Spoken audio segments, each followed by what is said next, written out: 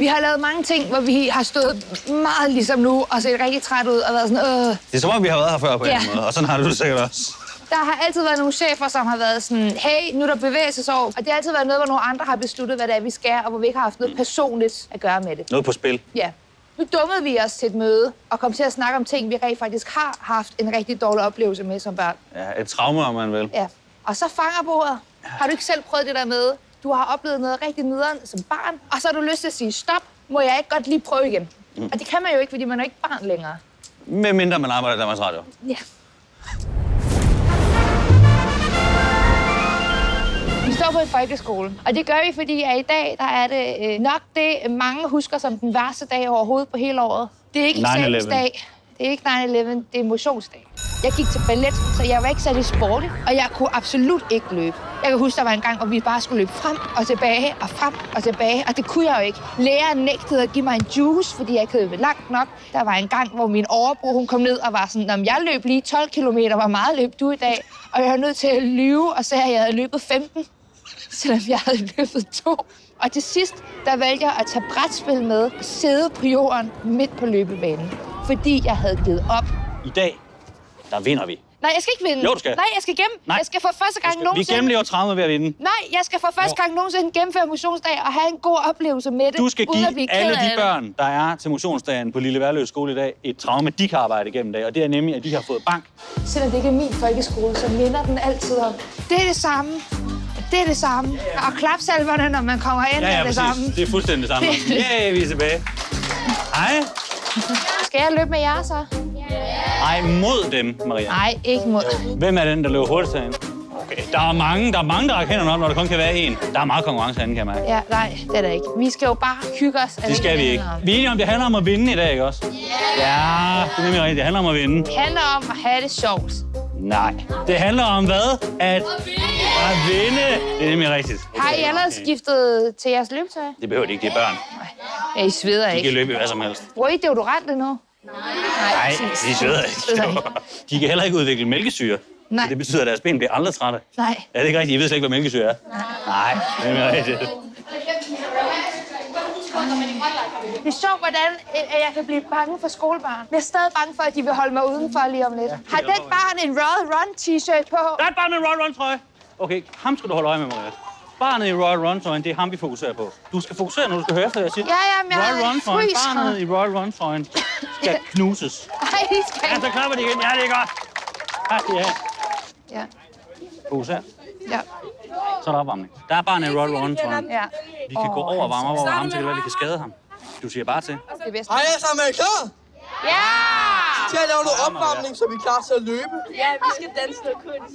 Folkedans. Vi skal danse kurdisk folkedans. Der vil vi gerne undskylde for alle øh, seere fra Dansk Folkeparti. Som Danmarks Radio er det her selvfølgelig ikke noget, vi har valgt at støtte om. Vi ved, I har muligheden for at skære i os. Det her er sket uden vores viden.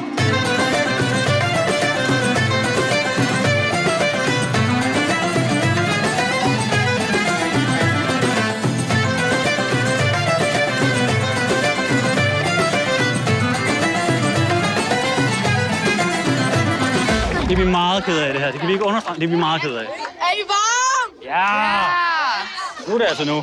Hvad er din pace? Min er 5.19. Og så er det, så passer det bedst, Ja. at vi 10, tror, de sender live. Okay. Se der, du Sygt er langsomt. så fucking. Og det Prøv høre. præcis så længe der er billige appelsin Hvis du vinder i dag, Ja. så får du lov til at få sådan en juice. Nu tager du den her på.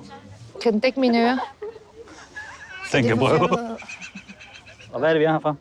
Øh, at gennemføre han At vinde. Hvad er det, vi er her for, unger? Vinde! Det er nemlig rigtigt. Og det er kun vinder, der får juice. Ja, det er nemlig så. Nu, nu arbejder Maria Fantino sig oppe forrest i køen. Nu, nu annoncerer han og spørger, om de er klar. Og de er klar til at slå køenklub. Han kører lidt på hende. Så går klokken, og så er de sendt afsted. Og hold da op, det her det går hurtigt. Kom nu, Maria, du er allerede for langt bagud. Du er alt for langt bagud. Hvorfor spurgte Fra start. Jeg siger, Maria Fantino sakker en lille smule bagud. Jeg tror, hendes taktik er at starte sådan lidt stille og roligt. Lige komme over vandpytteren der, er, men de her børn, de er simpelthen stukket af jo. skal lige have mit pace på gerne 25.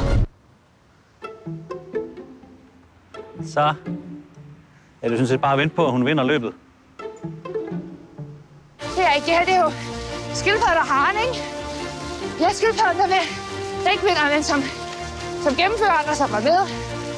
Og så er der nogle fodbolddrenge, der må vinde det her. Men jeg sige,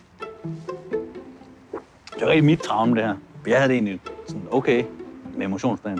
Det var ude på landet, så det var sådan noget, man som voksen øh, vil betegne som utrolig smuk gåtur. Jeg kan mærke, at jeg er ved at blive grebet af en stemning. Men det var alt for hurtigt lige nu. Og det var 4.45. Og jeg plejer at løbe 6. Så det er alt for hurtigt. Nu vil vi se. Folk begynder at falde fra nu. Så kom, kom man ned forbi tanken, som det ellers kun var de store børn, der måtte gå over til. Men når der var motionsdag, så kunne man lige rende ned forbi og købe en sodavand eller en is eller et eller andet lækkert. Så det var bare ret hyggeligt, synes jeg egentlig. Jeg har kørt dig træt! Jeg har kørt dig træt!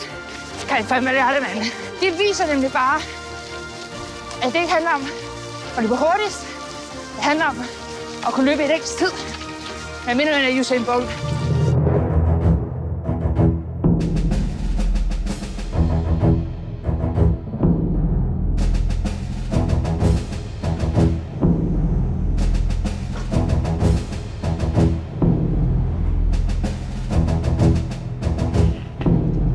Har snart været afsted i lang tid, ikke? Altså, nu har de været ude på ruten i over en halv time, og igen, den ubekendte er jo, hvor langt de har skulle ud og gå, gå på den her lidt sådan nykonstruerede rute, der skulle ud om en sump, fordi der var lidt for meget regn, og så videre, så videre, så videre. Det er et værre vejr herude på Lille Værløse skole. Det er godt, Maria! Er det jo. Det er godt! Vil du have en Powerade? Her, have noget gel. Har du spist det hele? Vil du have en mere? Tag en mysli-bar. Jeg kan ikke spise lige nu. Kom nu lige. Den her kan kun køre 40 km i timen. Følg nu med mig, Maria. Kom nu. Tænk på juicen. Nu har Powerade i hele ansigtet. Oh, det er for sjovt, det her. Er du klar over, hvor ondt jeg har i fodsålerne, når jeg står på den her af at holde balancen? Vi offrer os begge to for det her projekt. Se, nu går det igen. Det er det. Hun kommer nu, drenge! Lad være. Sæt farten op! Du får en juice, hvis du overhælder dem. Du får to juice, hvis du overhælder dem. Jeg overhalede ham med flamingohatten. Vil du overhælde barnet med flamingohatten? Nej, jeg overhalede ham. Nå, det var godt. Nu er vi på slutspurten, Maria. Kom nu. Ja, det er en offroad segway, den her. I ringer bare, damer. Du har den. Jeg tror på dig. Det er godt, Maria. Sikkert Og nu drejer Maria Fantino så ned. Jamen, hun, hun, jeg ved ikke, om hun simpelthen glemmer at dreje. Jeg tror, hun glemmer at dreje simpelthen. Hun fortsætter videre. Hun er tilbage nu, kommer med øh, gul pandebånd ind til øh, store jubelscener fra de mange 3-4 fremmødte. Og nu kommer hun altså ind til målstregen. Der er seks børn i mål, og Maria Fantino kommer ind over målstregen. Og dermed, så har hun faktisk slået store dele af eleverne. Hvad nummer blev du? Syv. Oh my god. Sådan. Det her det er næsten til at blive rørt af. Voksen Maria har givet børne Maria en juice. Voksen Maria har sagt, der er fandme ikke nogen udulig gymnastiklærer, der skal fortælle hende, at hun ikke kan løbe. Og så har hun selv valgt at begynde at lære at træne. Og ikke for at tabe sig, ikke for en konkurrence, bare fordi det ville hun godt prøve. Så løb hun halvmarathon, og nu har hun fuldendt motionsdag. Altså, jeg vandt jo ikke, men, og det kommer til at lyde lidt fjollet. Men jeg er oprigtigt lidt stolt af mig selv. I folkeskolen, der havde jeg meget det med, at der var nogle lærere, der fortalte mig, at der var nogle ting, jeg ikke var god til. Og så har jeg gået rigtig meget af min øh, teenage-tid og også voksentid og været sådan, Nå, det passer nok.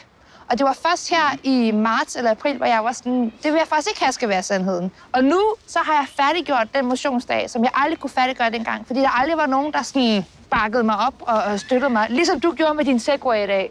Ved du, hvad det vigtigste, vi lærte i dag var? Udover at du gennemarbejdede dit traume, så gjorde vi noget, der er vigtigere for danskerne. For verden. Vi gjorde Segwayen sexet igen. Woo! Altså, på en måde er det blevet Christiansdag alligevel. Ja, det synes jeg også. Hvad er det, jeg synes, du fortalte på? Nu handlede det lige om mig, om jeg at jeg har fået min juice. Nej, hvor bliver jeg svimlet. Det er stadig skægt, selvom jeg bliver Christian, svimlet. gå nu af. Undskyld.